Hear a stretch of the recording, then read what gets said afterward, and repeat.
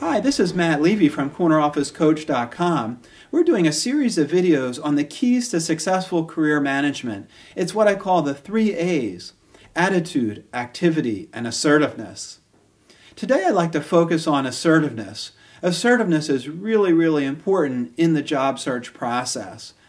By that I mean the folks that you want to meet with, hiring managers, recruiters, power connectors, and influencers, they're really, really busy people. These are the folks that you want to meet with, but they probably have a demanding day job. They probably have a second job where they do consulting or teaching. They're probably on boards of directors. They're probably out there busy networking already. These are the people that you want to meet. You can't just send them an email and if you don't hear from them, stick your tail between your legs and cower away. Instead, you have to be bold. You have to follow up with them on multiple times.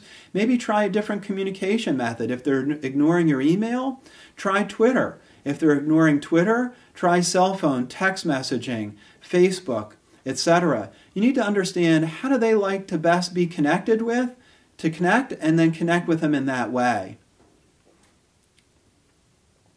Assertiveness, I'm talking about showing the right amount of assertiveness. I like to use the analogy of tomato sauce. Why tomato sauce, you ask? Well, you need to season your tomato sauce with salt. Too little and it's bland and distasteful. Too much, it's too salty and also distasteful. It's, it's the same thing with assertiveness. You want to find that right blend where you're showing enough assertiveness that you're getting people's attention, but not too much and being a pest about. You can use this assertiveness to try to get the attention of, of hiring managers or recruiters. You want to network into target companies. You want to apply for a job and then find power connected people in that industry and at that company. You want to even try to find the hiring manager. You want to network in and show assertiveness to find them through maybe LinkedIn, for example.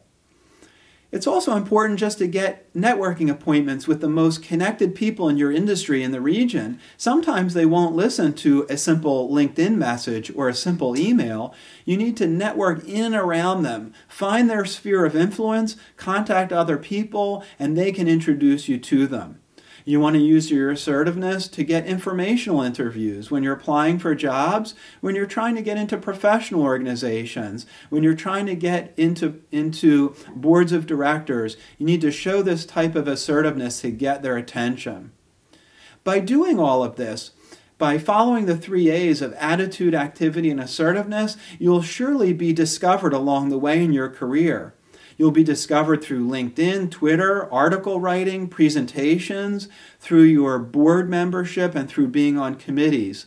It'll result in first page Google ranking, consulting offers, speaking engagements. You'll get job offers. You'll be offered to do interviews and write articles, and you'll get additional certifications.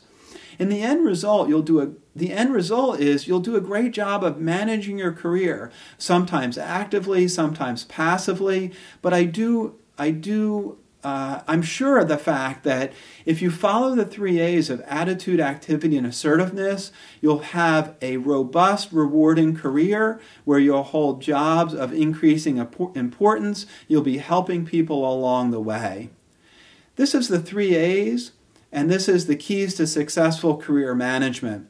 This is Matt Levy from CornerOfficeCoach.com, helping you accelerate your career with the inside angle. I hope you make it a great day.